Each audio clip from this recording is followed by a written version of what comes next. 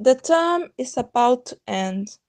There are only three weeks left, and Atlas has managed to keep up with most of the course's work.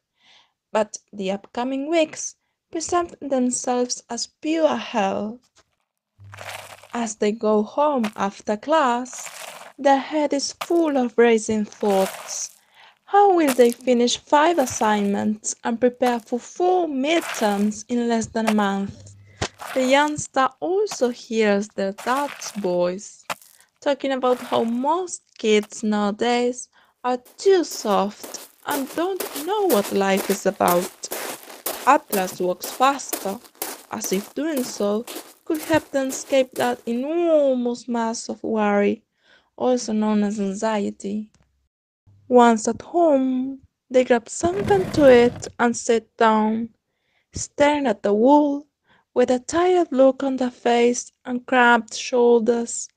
The student finds the food almost tasteless. They think of their mom's understanding gaze, always soothing and loving.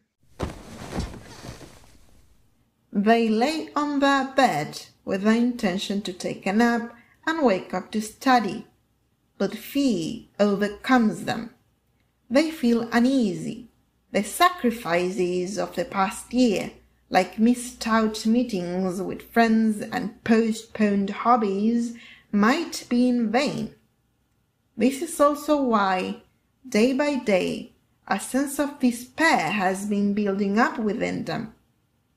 As Atlas drifts into sleep, their inner voice blames them for wasting time instead of being productive, as if it were forbidden to rest.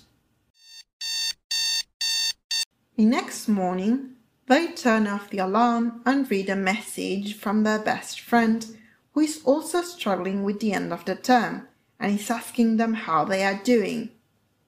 They stare at the ceiling, thinking of how the past year has gone by.